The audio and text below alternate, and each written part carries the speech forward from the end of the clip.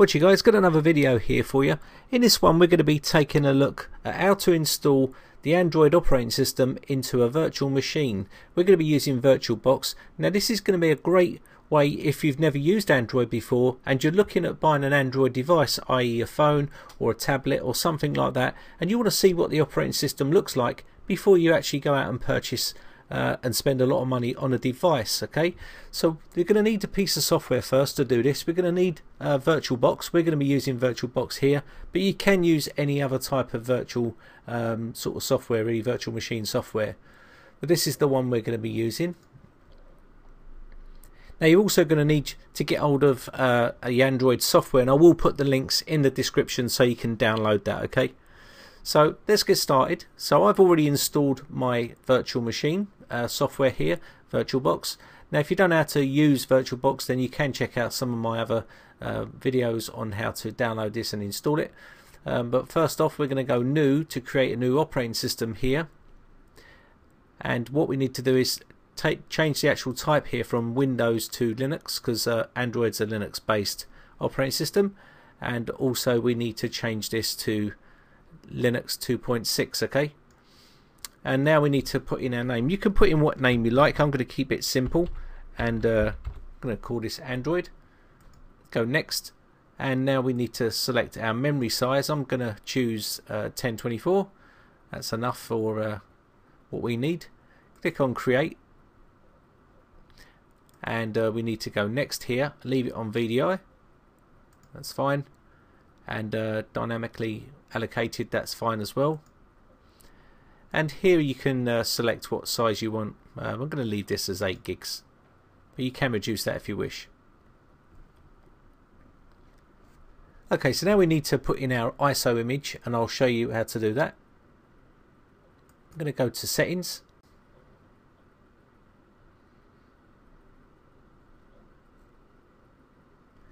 And then we want to click on storage and you can see it's empty at the moment and we need to click on this and then we need to select the actual virtual uh, CD or DVD drive okay now we need to choose our actual image what we want to load up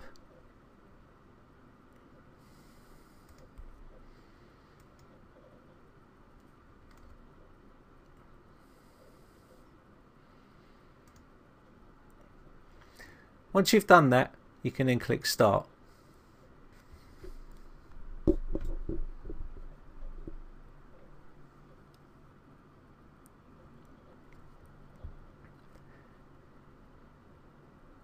So now we've got this box popping up and what we need to do here, we're not going to run this as a live CD, we want to run this as an actual installation. So we're going to install this.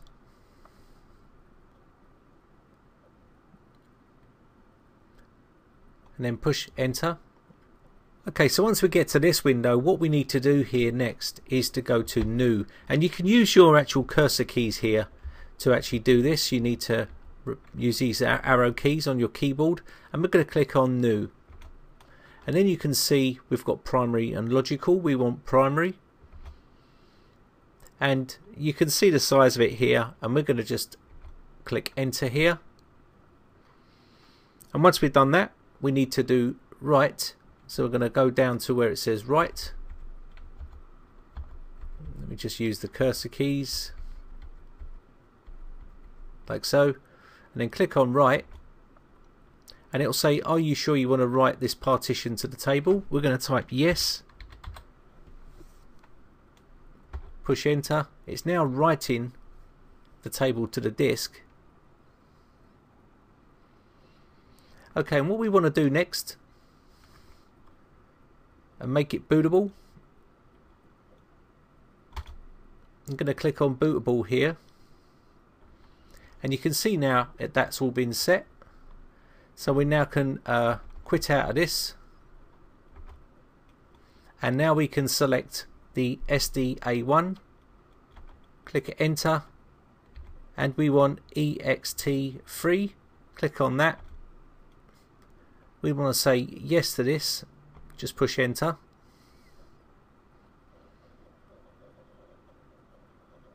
It's now formatting that drive now we need to we don't want to skip this we want to actually go to yes here and uh, install the bootloader grub. I'm going to say yes to that as well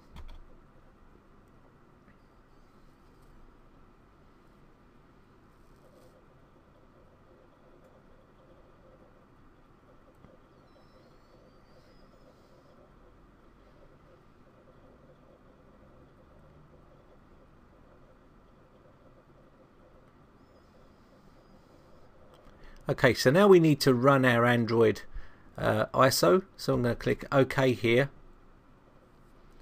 And then now it should start to load our Android operating system. Okay, so what we want to do here now is uh, we want to select English. You haven't, if you're having trouble with the mouse, you can actually come up to where it says Disable Mouse, and uh, we want to click on Start and let that load in. Okay, so it wants us to select our uh, Wi-Fi here. I'm just going to leave this for now, but if you've got Wi-Fi here, it will detect it. So what we're going to do is uh, click skip here.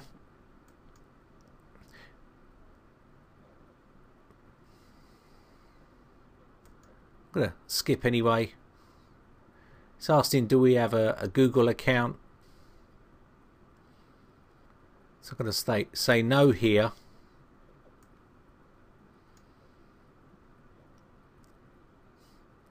Going to say not now.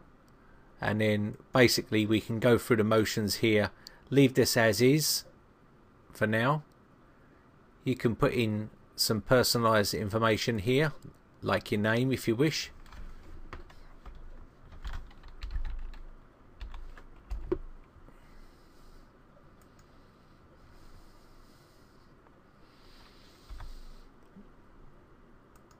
Go next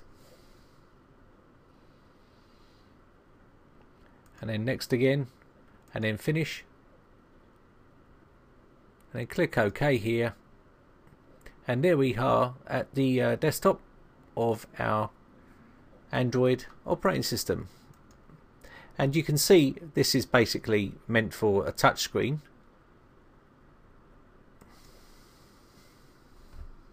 So you've got your home button here and you've got your back button here